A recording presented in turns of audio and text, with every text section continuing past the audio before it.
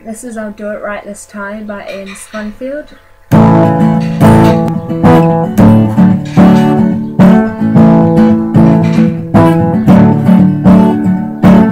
Why does time move forward never end? Why can't I somehow become a child?